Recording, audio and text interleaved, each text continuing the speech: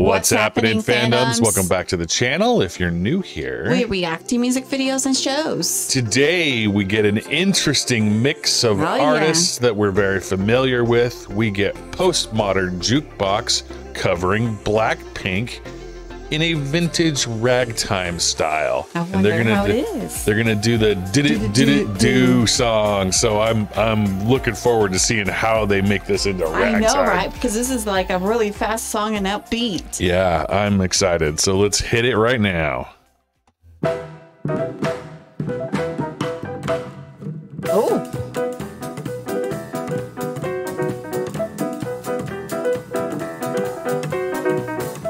Is it just no singer? I don't know. We'll have to see.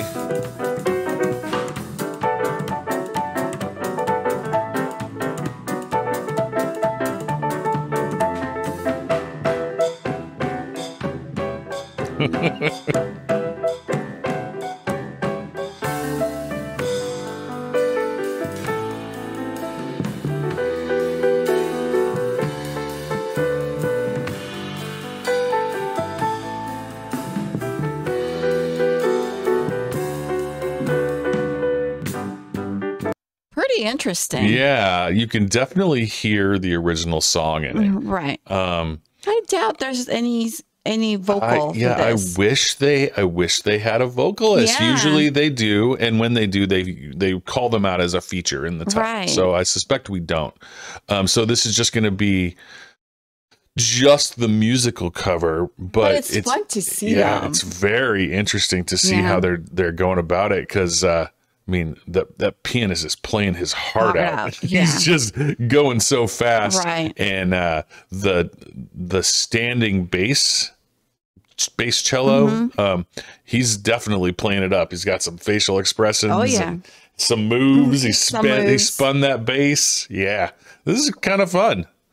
I, I, I missed quite I missed the hit him with that ddu-du ddu-du du though. I wish we I wish they had found a way to incorporate a singer. That would have been cool.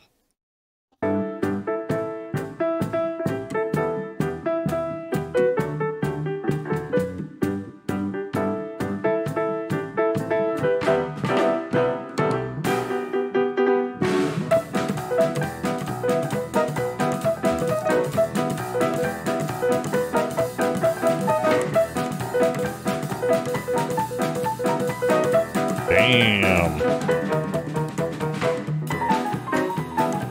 Whoa, go off.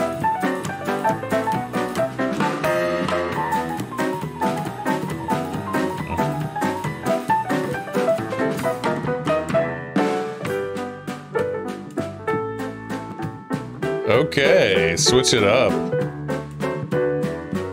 Can't even sense of it now. Totally different. Oh, I, yeah, I can still hear it.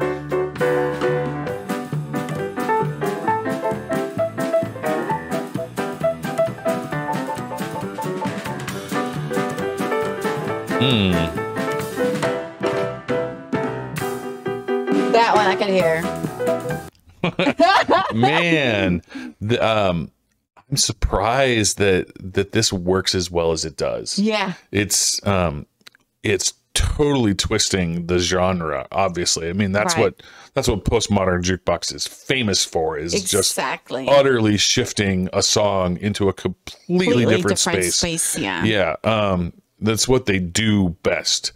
Um, but uh, it's hard to believe how well this works. Oh yeah. and I, it's very entertaining. I'm loving how he's uh, doing the slap bass. He's doing some percussion with the body. Body of the cello. yeah. It's uh, very satisfying to to see that. Like very very cool.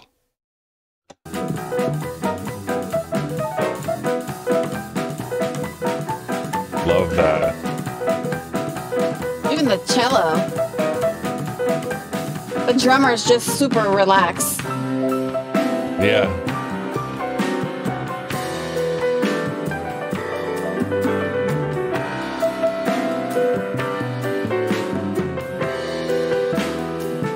I know the lyrics on this, I would have sing it with them.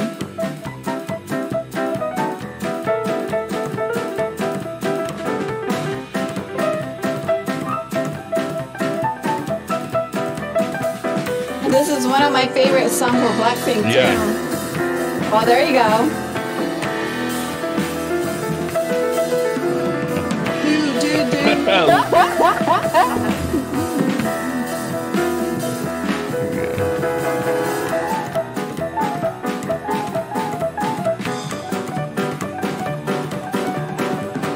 Oh man.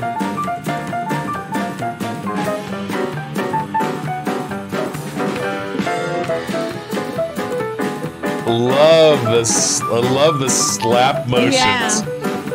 That's so out there. He's outlandish. Yeah. It's just so big. Very, very cool.